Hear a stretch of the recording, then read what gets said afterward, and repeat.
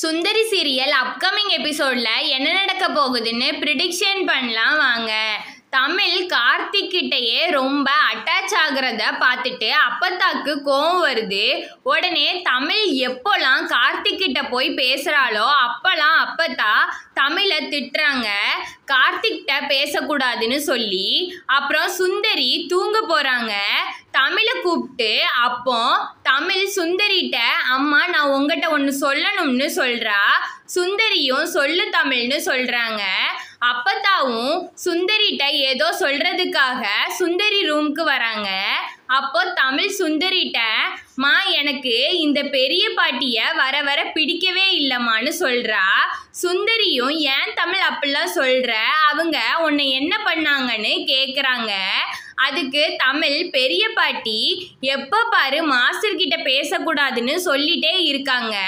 நான் பெரிய பாட்டி கூட இனி பேசவே மாட்டேன்னு சொல்றா.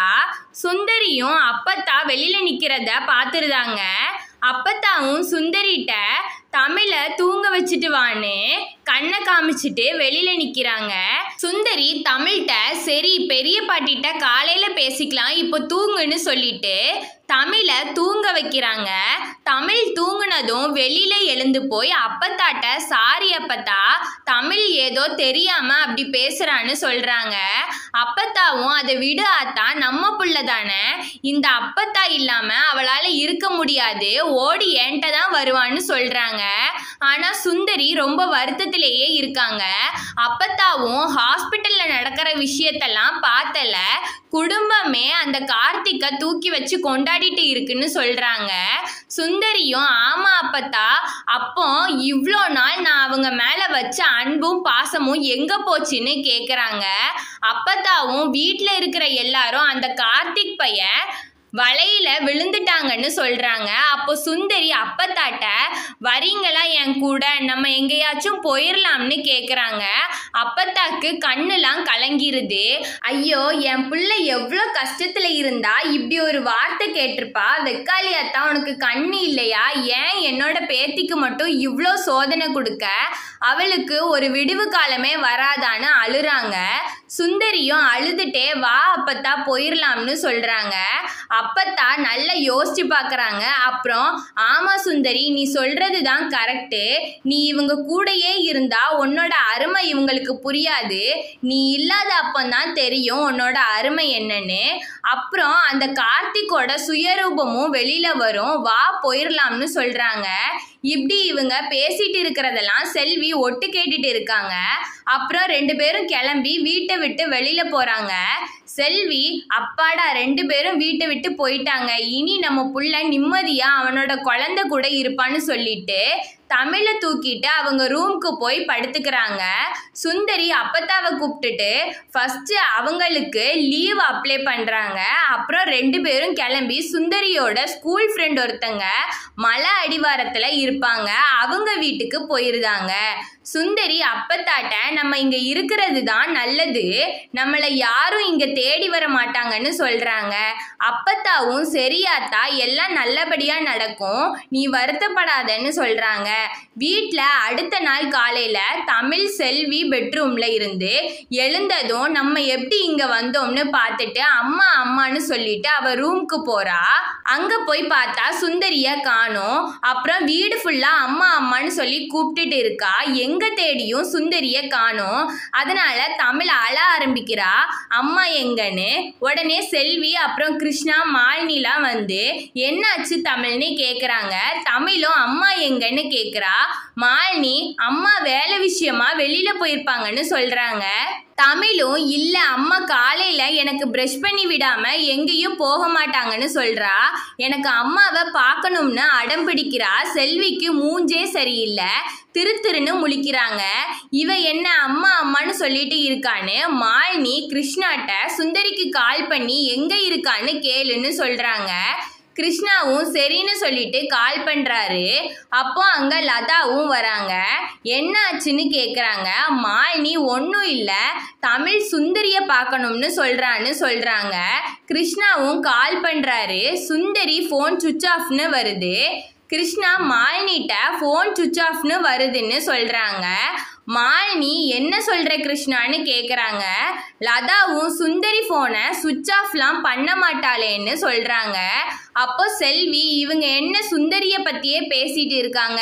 அதான் அவ போயிட்டால அப்புறம் என்னன்னு மனசுக்குள்ள நினைச்சிட்டு எல்லாரும் வாங்க இன்னைக்கு கார்த்திக் டிஸ்சார்ஜ் ஆகுறான் போய் கூப்பிட்டு வரலாம்னு சொல்றாங்க.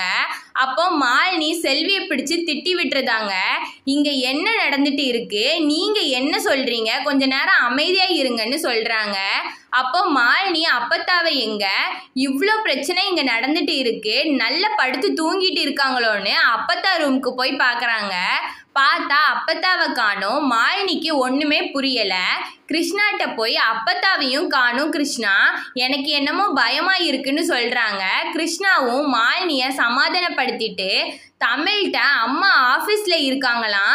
மாமா போய் கூப்பிட்டு வரும்னு சொல்லிட்டு லதாட்ட மாலினிய கொஞ்சம் பார்த்துக்கோங்கன்னு சொல்லிட்டு ஹாஸ்பிட்டலுக்கு போகிறாரு வெற்றிக்கு கலெக்டர் ஆஃபீஸில் இருந்து கால் வருது. வெற்றியும் என்னன்னு கேட்குறாரு உங்களை தற்காலிக கலெக்டராக நியமனம் பண்ணியிருக்கோம்னு சொல்கிறாங்க வெற்றியும் கலெக்டர் சுந்தரிக்கு என்னாச்சுன்னு கேட்குறாரு அதுக்கு அவங்க சுந்தரி மேடம் தற்காலிகமாக லீவ் கேட்டுட்டு போயிட்டாங்க.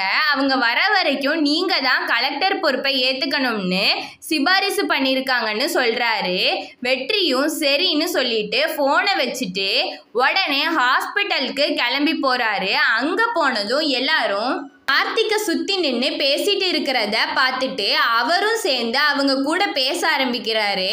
அப்போ கார்த்திகை பார்த்து நீங்க சுந்தரி குடும்பத்துக்கு பண்ற உதவியெல்லாம் பார்த்தா நீங்க இந்த குடும்பத்துல ஒரு ஆள் மாதிரி தெரியுறீங்கன்னு சொல்றாரு.